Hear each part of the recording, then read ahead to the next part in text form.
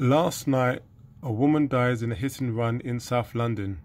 Um, it was in Brixton, um, and a, a black Mercedes Benz at 9:45 hit her and killed her instantly. The car was found abandoned nearby, and inquiries are ongoing to trace the occupants. This is really sad.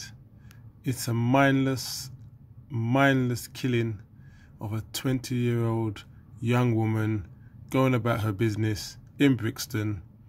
Um, the um, the parents, the next of Kim, are being informed. This is the car, um, so Mercedes. If anybody has any information about this, please please get in contact with the police. Leave a comment down below. Let us know so we can try and you know help with this investigation. So if you was in the Brixton area around 9.45 yesterday, um, again, please let us know, let the police know.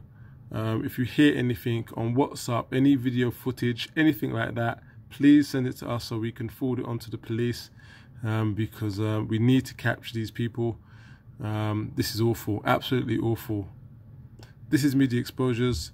Once again, thank you for watching, thank you for listening feel free to subscribe and support the channel.